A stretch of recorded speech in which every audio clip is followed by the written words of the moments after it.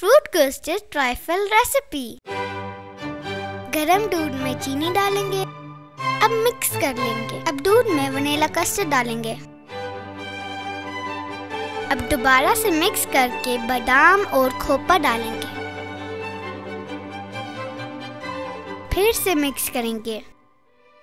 Serving plate में custard की first layer को डालेंगे। अब सेकंड लेयर पर चोकोबार बिस्किट के पीसेस डालेंगे। थर्ड लेयर पर चोकोबार बिस्किट के ऊपर कस्टर्ड डालेंगे। अब मैंगो के पीसेस डालकर कस्टर्ड की एक और लेयर डालेंगे।